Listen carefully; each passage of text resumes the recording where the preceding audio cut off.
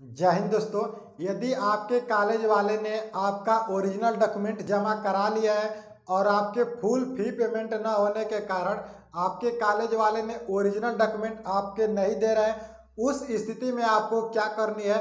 आइए आपको मैं समझा रहा हूँ। सबसे पहले आपको बता दें कि ऐसा जो केस है वह बहुत से कॉलेज में आपको देखने को मिलेगा। जैसे आप पॉलिटेक्निक बीटेक कर रहे हैं उस स्थिति में आपका ओरिजिनल डॉक्यूमेंट जमा करा लिया जाता है। लेकिन आपके फुल फ़ी पेमेंट न होने के कारण आपके कॉलेज वाले ने ओरिजिनल डॉक्यूमेंट आपको नहीं देते हैं। तो उस सिचुएशन में आपको क्या करनी है? जिस कॉलेज में आपका एडमिशन है और वह कॉलेज आपका ओरिजिनल डॉक्यूमेंट नहीं दे रहे हैं, उस स्थिति में आपको सबसे पहले कंज्यूमर कोर्ट के तहत उस कॉलेज के प्रति एक जो है कंप्लेन कर देना है। ठीक है?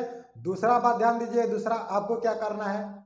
दूसरा बात यह ध्यान देना है कि आप जो है, आप अपने कॉलेज के प्रति डिस्ट्रिक्ट ऑर्डर फोर सीपीसी यानी कि सिविल प्रोड्यूसर कोर्ट के तहत इनके प्रति केस कर सकते हैं। तो फ्रेंड्स ऐसे में आपको इस स्थिति में बिल्कुल सेम यही करना है। यदि आपके ओरिजिनल डॉक्यूमेंट आपके कॉलेज वाले नहीं दे रहे तब।